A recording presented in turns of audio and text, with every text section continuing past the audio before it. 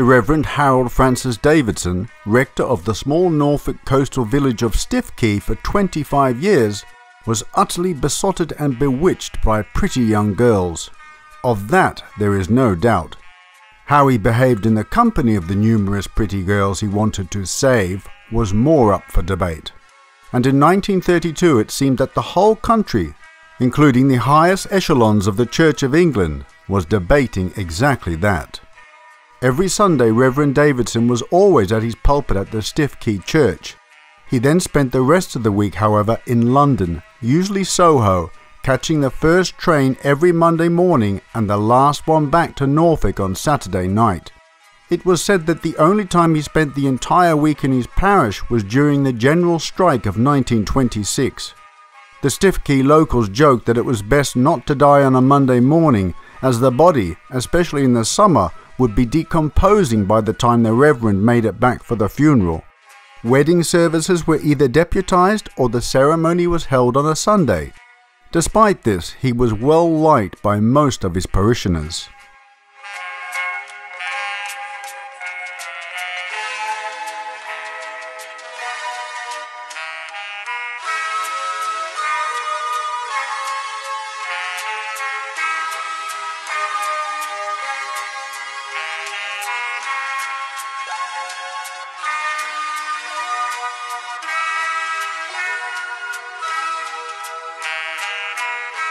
During the week, Davidson, often without his dog collar, would walk around the streets of the West End, essentially stalking and pursuing girls and young women wherever he went. Whether it was attractive young actresses, shop girls, or waitresses, none of them were particularly safe from the glint in the Reverend's eye. He always argued until the day he died that he was doing nothing but God's work his aim in life, he claimed, was helping young women from falling into a life of prostitution, particularly shop assistants and tea shop waitresses, many of whom had left home for the first time and were on very low wages. It had all started in 1894 when Davidson was working as a comic actor in London. He had come from a long line of clergymen, but had always loved amateur dramatics at school and subsequently toured for several months with friends, performing as travelling entertainers. One evening, strolling along the Thames embankment in a thick fog, he came across a weeping 16 year old girl who was about to throw herself into the Thames. Davidson managed to persuade her against this action and discovered that she had run away from home and was without funds or a roof over her head. He persuaded her to go back home with a letter from him to her mother, her pitiful story made a tremendous impression on me. I have ever since kept my eyes open for opportunities to help that kind of girl.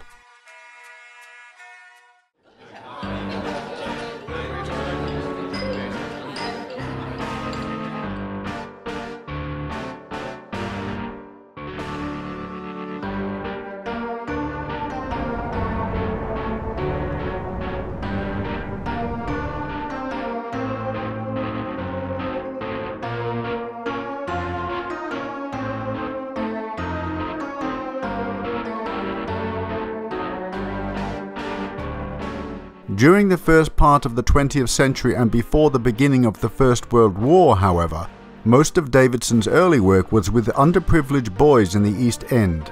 He helped set up the Newsboys Club to help out young London newsboys who were often badly treated and exploited by Fleet Street.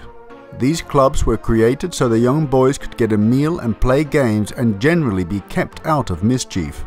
Davidson, along with others, helped the boys secure better wages and improve their working conditions. His work with young women, however, became more prominent after he returned home from war service as a naval chaplain and found out his wife had committed adultery and was pregnant. At his own estimation, Davidson had made the acquaintance in one way or another of two to three thousand girls between 1919 and 1932. I was picking up in this way roughly, as my diaries show, an average of about 150 to 200 girls a year, and taking them to restaurants for a meal and a talk. Of these I was definitely able to help into good jobs of work a very large number. When the Reverend talked about restaurants, he almost certainly was referring to cafes such as the J. Lyons tea shops, of which there were many around London in the 20s and 30s. The waitresses in the Lyons tea shops at the time were called nippies, and it was a nippy that was once involved in an incident with the ardent Reverend.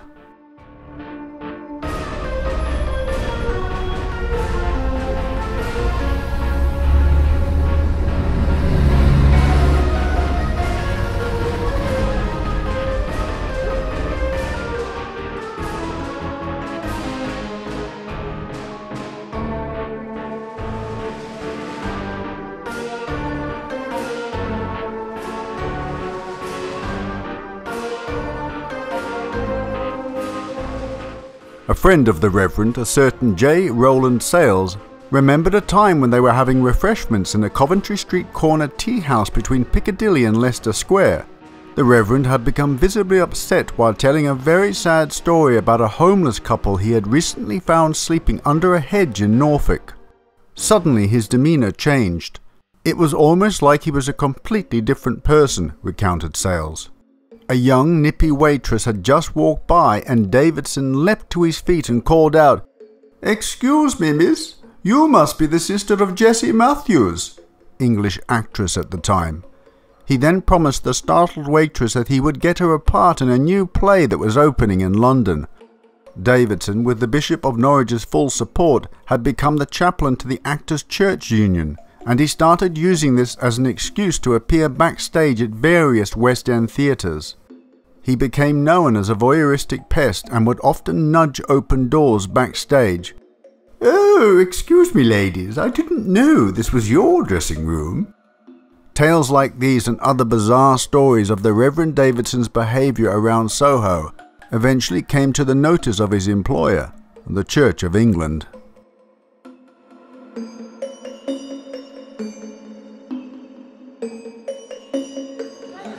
Excuse me, miss. You must be the sister of Jessie Matthews.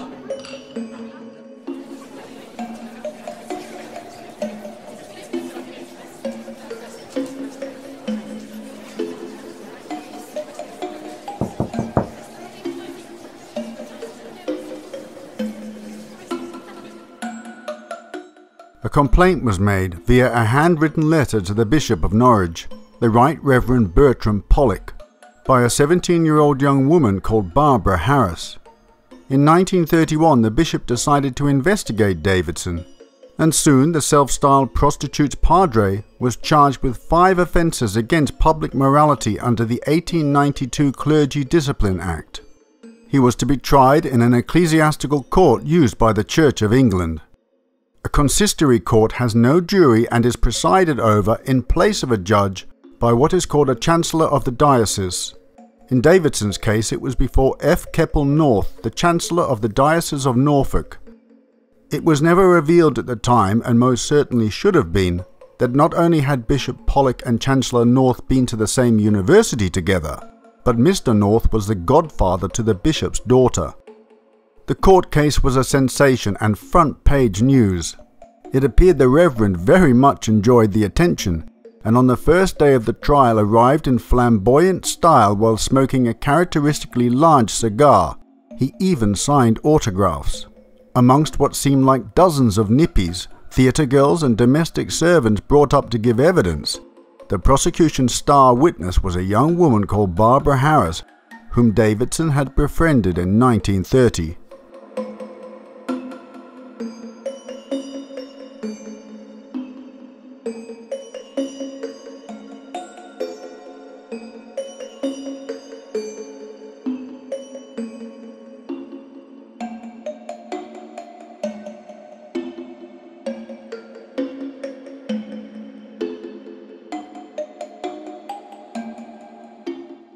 He had first spotted her at Marble Arch, a popular haunt of prostitutes at the time, and he used his old tried and tested trick of comparing her to a famous actress, this time Greta Garbo.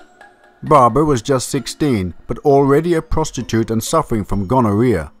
She had never known her father and had been abandoned by her mother who was suffering from mental illness.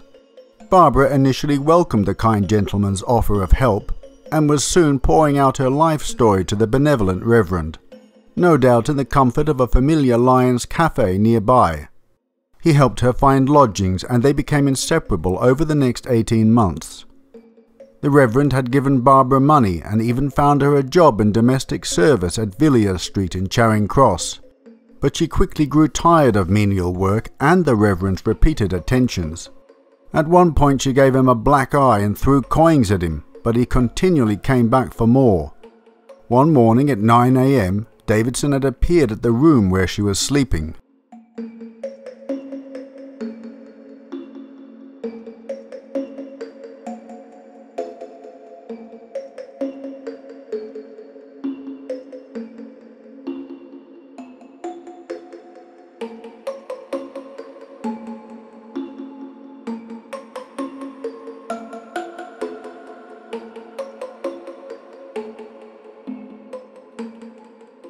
During the ongoing court case, the prosecution asked Barbara about this incident. You say you kissed him? Yes. How often was he kissing you? He was always kissing me. Did he ever ask you to do things? Oh, yes. He once asked me to give myself to him body and soul. As the trial was coming to its end, it was thought that the evidence against Davidson would not be enough to find him guilty. That is until the prosecutor, Roland Oliver, brought out two small photographs. To the Reverend's utter shock and horrified disbelief, one of the photographs was of the Reverend standing between an aspidistra plant and a bare-bottomed teenage starlet. The girl was called Estelle Douglas and was the daughter of a close friend of his, an actress called May Douglas, whom he had helped to get on stage some 20 years before. May had asked Davidson to try and get her daughter into films. A photo shoot had been organized at the rectory with the idea of taking publicity shots of Estelle in her bathing suit.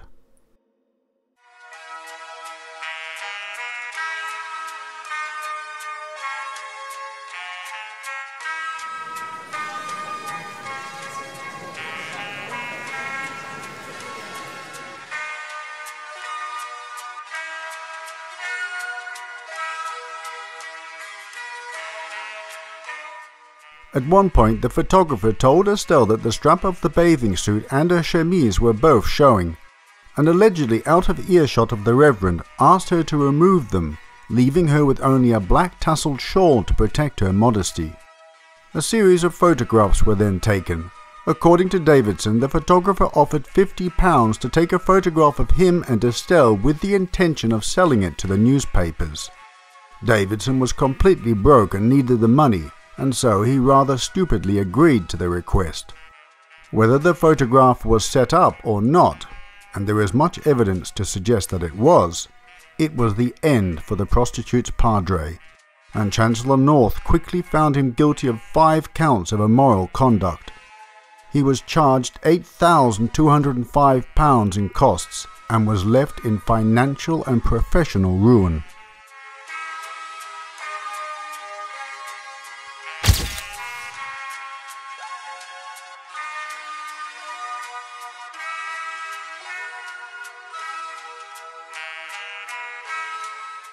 The legal team representing the Reverend were let down by his eccentric antics.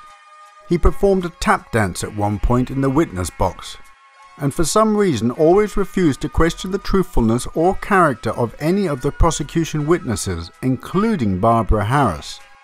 The defense were also at fault for Davidson's conviction, however. Letters between Harold Davidson had been produced in court as evidence. Most of the letters from Davidson were signed your sincere friend and padre, while the relatively mundane letters from Harris were either thanking Davidson for his help or confirming an appointment with him.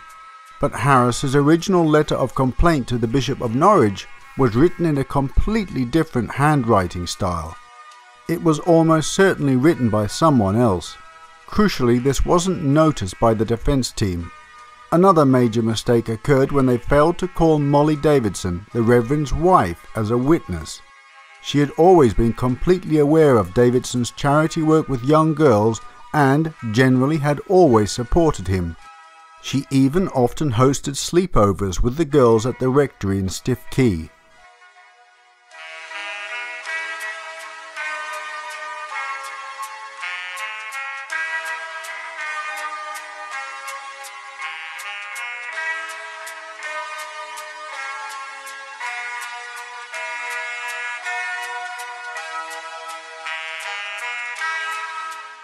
In October 1932, Davidson was summoned to appear in front of Bishop Pollock at Norwich Cathedral, where he was subjected to a humiliating and demeaning public defrocking. Removed, disposed, and degraded, shouted a Daily Mirror headline.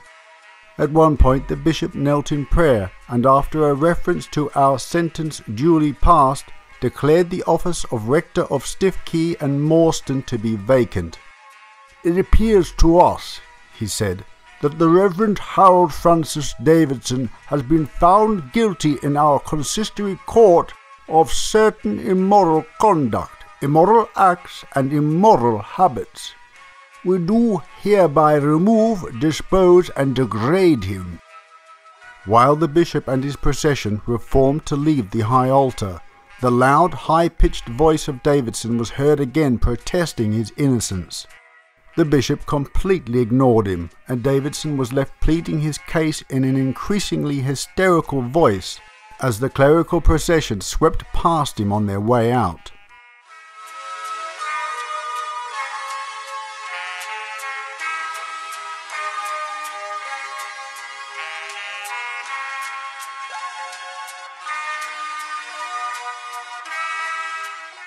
Harold Davidson was not alone in criticising his prosecutors and the fairness of his trial. While most of the national press saw him as little more than a joke figure, the Church Times, no less, was more or less on the ex-rector's side. While they criticised Davidson's conduct as foolish and eccentric, they wrote in July 1932 that there can be no doubt that he was originally moved by a high Christian impulse and that he is still regarded by many as a champion of the outcast and the wretched. However necessary the proceedings may have been, the spirit in which they were conducted has shocked the public conscience. The secret inquiry agents, the characters of some of the unnecessary witnesses, and above all the photograph made the trial both undignified and unchristian. The article also mentioned that under the Clergy Discipline Act of 1892, a clergyman could be found guilty from one single immoral act, and that it was therefore perfectly superfluous to bring forward numerous witnesses of doubtful character and to heap up a number of charges.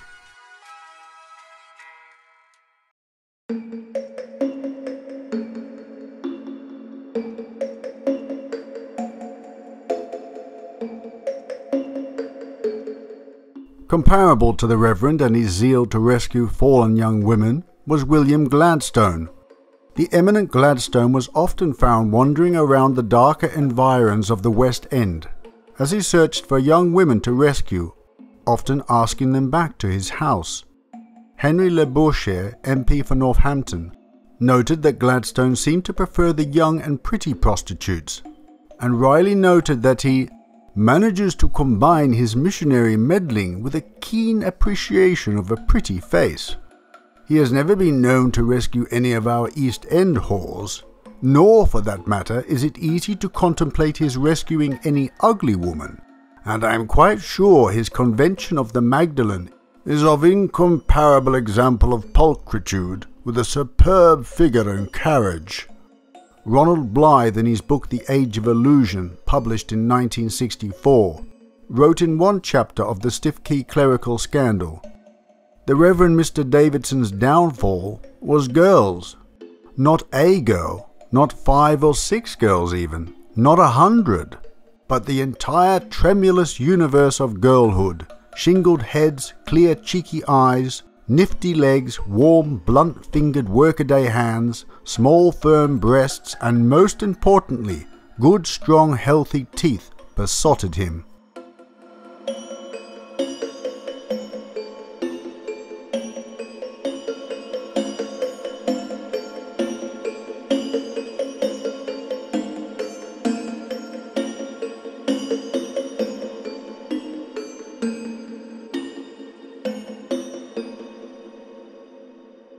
After the public humiliation at Norwich Cathedral, Harold Davidson picked himself up and started to use his youthful theatre experience.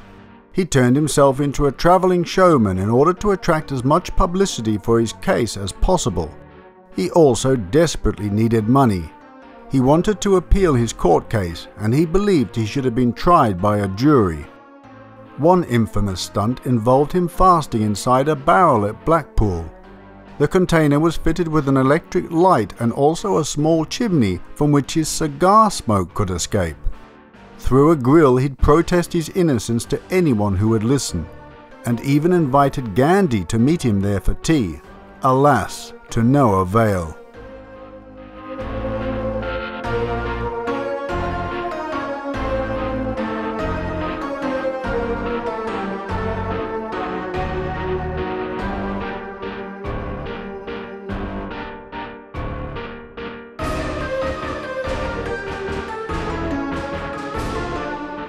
Despite his stunts becoming more and more outrageous. At one point he was being roasted in an oven while being prodded in the buttocks with a pitchfork by a mechanical devil. The erstwhile clergyman's fame was beginning to wane. In the summer of 1937, Davidson tried one more stunt, and at Thompson's amusement park in Skegness, he was billed as a modern Daniel in a lion's den. Davidson stood in a cage with a lion called Freddy and a lioness called Toto. Again, he shouted to any passer-by about the injustice he had been dealt. This was merged, as usual, with a torrent of loud abuse against his former church leaders. On the 28th of July, Davidson accidentally stood on Toto's tail. The lioness's sudden movement made Freddy attack the former rector. The Daily Mirror described the attack in a flash, the angry beast had torn open both the ex-rector's shoulders with its claws, and though Davidson bravely tried to strike with his stick, he crashed to the floor of the cage with the lion on top of him. It gripped him by the back with its jaws and began to maul him, while spectators screamed in horror.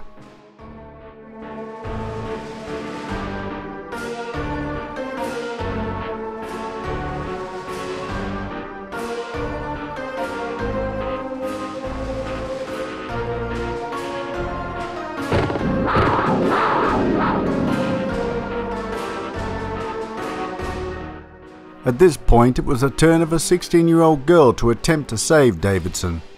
The young assistant lion tamer called Renee Summer picked up a whip and an iron bar and leapt into the cage. After raining blows on the lion with the whip, and when it lurched towards her on the attack, she rammed the iron bar into its jaws and then dragged Davidson across the cage and out of immediate danger. Davidson was taken to Skegness Cottage Hospital fatally injured. It is said that the ex-reverend, always hungry for publicity to help his cause, and with blood pouring from his neck, still had the presence of mind to say, Telephone the London newspapers. We still have time to make the first editions.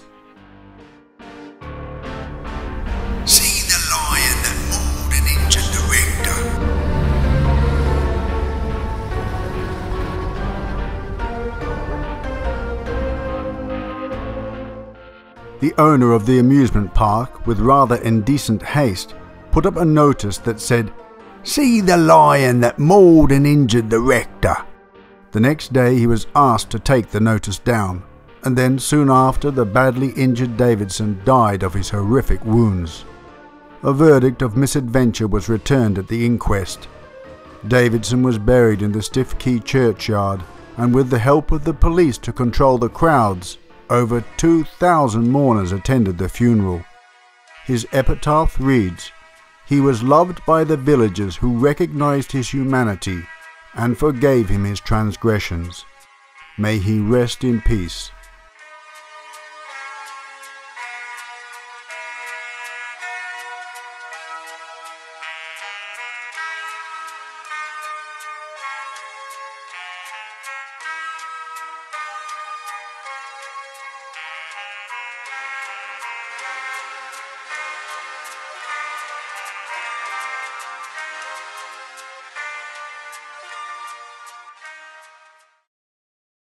Well, my dear viewers, I hope you enjoyed that presentation. A bit of a change from vintage crime.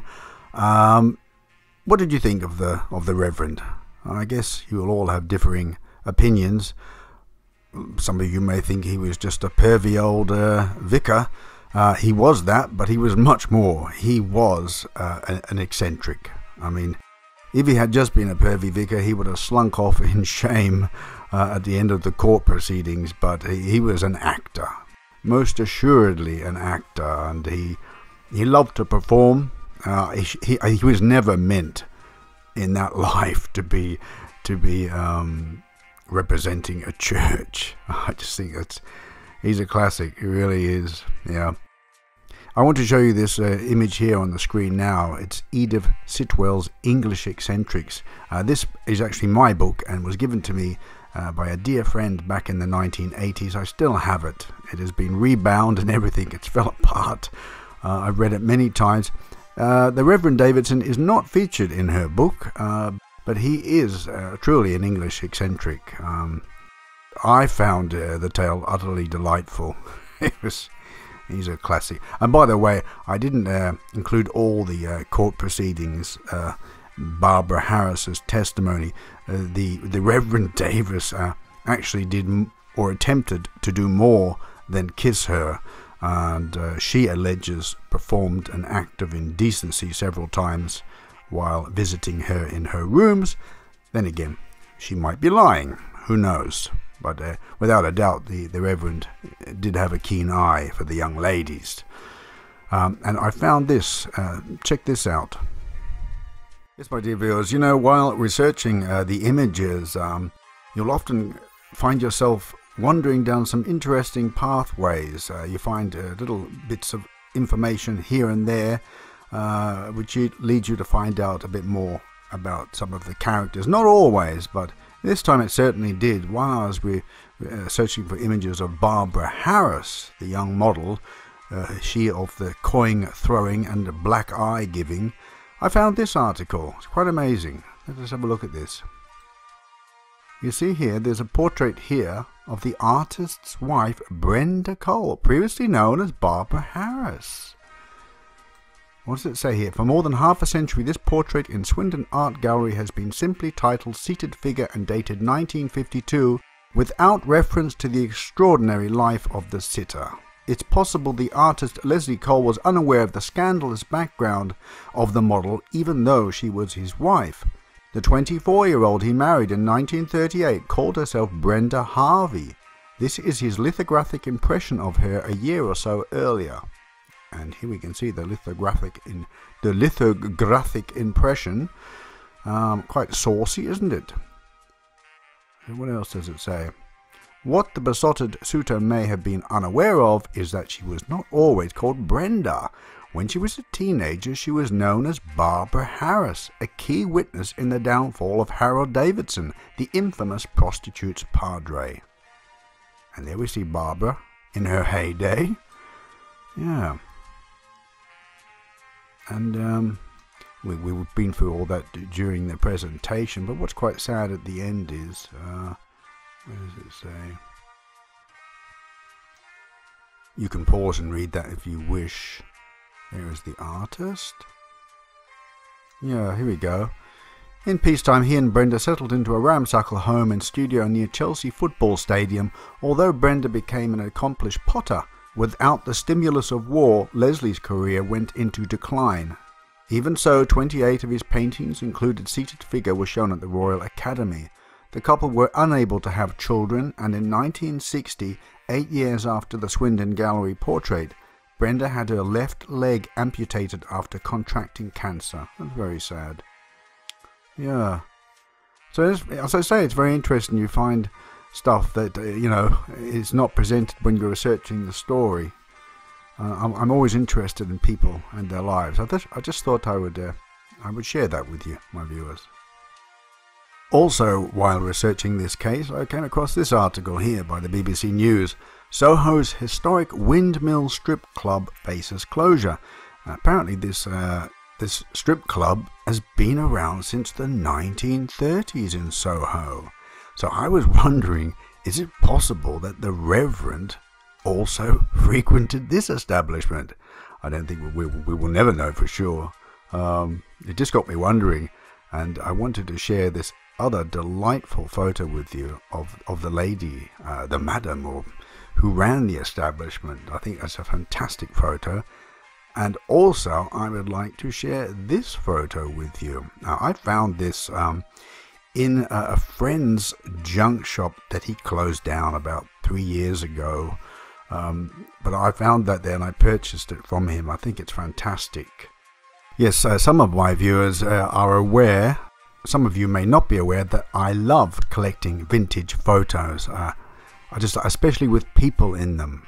Uh, and they're interesting, not just like you know the the mundane, uh, the normal run run of the mill family portraits they did. I'm talking about interesting scenes like this one um, that tell a story, or or you have to make the story up. You have to imagine what's going on.